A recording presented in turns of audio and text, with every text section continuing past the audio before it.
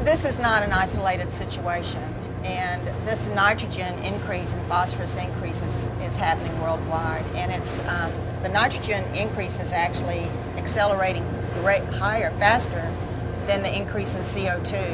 which is causing atmospheric problems.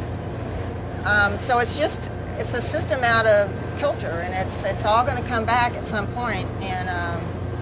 all going to come together, and it's not going to be good for the ecosystem and, and sustainable resources. The um,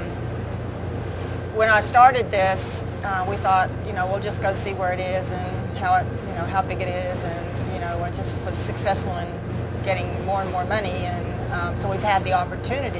to have this wonderful database that we can look at all kinds of changes in river discharge or nutrient flux or hurricanes or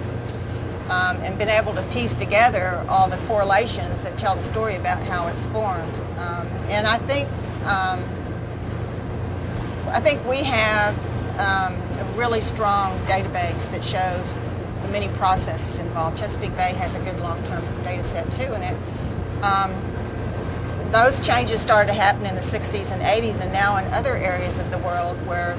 agribusiness is taking over in large amounts of fertilizer, such as in China. There are low oxygen zones there now that didn't occur historically, but their their shift is a little bit later, and they're now having some of the same problems. Some of this um, atmospheric nitrogen deposition in the East China Sea is causing harmful algal blooms and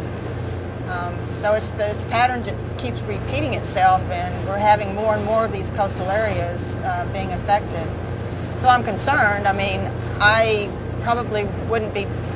Well, this research is very interesting, but I'm also not just doing it because it's interesting, because I think it's telling an important story